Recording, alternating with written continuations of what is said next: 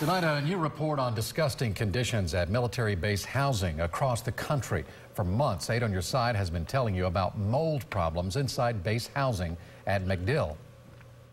Now we're learning that there are military housing problems all across the country. And News Channel 8's Jeff Patterson reports a local attorney says fraud and illegal activity may be involved in an effort to cover up these problems. Inside base housing here at MacDill, mold is a significant problem, reported by nearly 60% of the families. Now we are learning some of the conditions inside base housing are simply disgusting. A report from the Military Family Advisory Network surveyed military families at base housing across the country.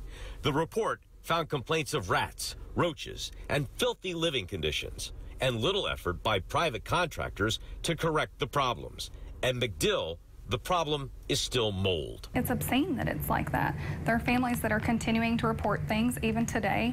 It's not resolved. Tracy Lenz first told us about mold issues at her base house months ago. She went to Congress to talk about the problem. The Secretary of the Air Force flew here to talk about the mold issue. But Lenz and others say the problem is still there and they've lost thousands trying to recover from it. We've had nothing refunded or reimbursed or paid for despite any promises or meetings. Attorney Natalie Khawam with the whistleblower law firm is representing some of the MacDill families with mold problems. She says it's not just negligence, there is fraud involved too. Yes, I think there's fraud.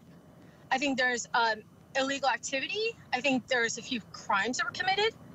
I will be sharing this with the U.S. Attorney's Office. Natalie Khawam says the cover up has been far worse than the initial problem, but she is working to resolve both issues. Jeff Patterson, News Channel 8.